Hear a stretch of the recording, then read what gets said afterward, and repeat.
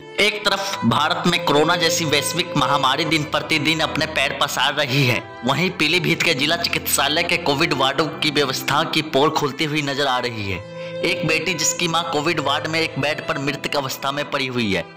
वह बेटी अपने दुख चिंता करते हुए कोविड वार्ड के भर्ती व अन्य मरीजों की चिंतन के लिए, इसलिए वह कोविड वार्ड से वीडियो कॉलिंग कर वहाँ की व्यवस्थाओं की भयानक तस्वीरें की पोल खोल रही है।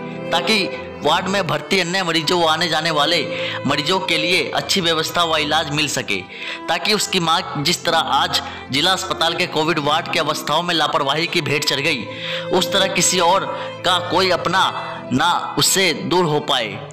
लाइव वीडियो कॉलिंग के दौरान सिरता का मोबाइल कोविड वार्ड में तैनात डॉक्टर ने छीन लिया और जिसके बाद अंदर की हकीकत बाहर ना आ सके। अब देखने का विषय यह बन जाता है कि सरकार कब तक देखती है। Bureau report Mundeval Deval Pilibhit.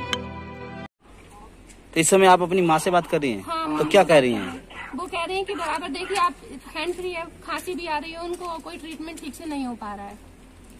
तो क्या लगता है आपको? क्या कहेंगी प्रशासन से आप? कहेंगे कि भाई जो जैसे हमारा मरीज़ है वैसे और भी सारे मरीज़ हैं उनका भी ध्यान रखें हम लोगों का सबका ध्यान रखें। अगर ऐसे ट्रीटमेंट होगा तो ऐसे मरीज़ कैसे ठीक हो पाएँगे? अगर इस तरह से लापरवाही होती रहेगी तो। तो क्या क्या लापरवाही है वहाँ पर? लापरवाही का टॉयलेट बिल्कुल भी साफ़ नहीं है वहाँ पर अंदर। कोई बराबर क्या बोलते हैं टाइम से देखने नहीं आ रहा है उनको उनके अकॉर्डिंग और तीन दिन में कोई भी रिकवरी रिकवरी नहीं आ पाई है भैया तीन दिन पेशेंट में आपका एडमिट है कोई जाँच कराई गई? कोई जाँच नहीं हुई है कोई जाँच नहीं हुई रिलेटिव कोई जाँच कोई नहीं जाँच हुई नहीं है हुई कुछ भी नहीं हुआ है तो क्या चाहते हैं आप हम चाहते हैं कि उनकी पहली बात तो कोरोना की जाँच हो जाए और बाकी जो भी हमारी मम्मी नहीं बाकी क्या नाम है आपकी मम्मी का? हमारी मम्मी का नाम मुन्नी है। कहाँ से रहती हैं यही पीलीभीत से ही है हम लोग।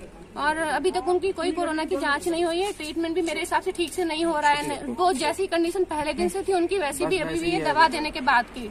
बस सिर्फ़ ये है कि ऑक्सीजन लगी हुई ऑक्सीजन से काम नहीं हो पा रहा है। भैया सिर्फ़ ऑक्सीजन लग, लगा- लगाएँगे और ट्रीटमेंट नहीं देंगे तो वो कैसे हो ऑक्सीजन सोल्यूशन नहीं होता ऑक्सीजन सोल्यूशन नहीं है भैया।